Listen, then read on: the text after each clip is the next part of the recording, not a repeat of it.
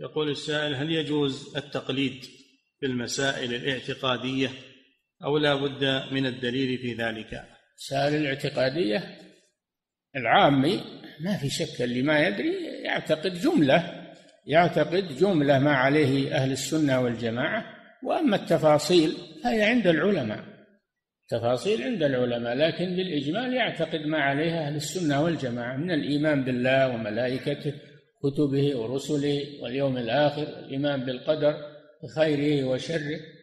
يقيم الصلاة ويؤتي الزكاة ويصوم رمضان ويحج البيت. هذا هذا نعم.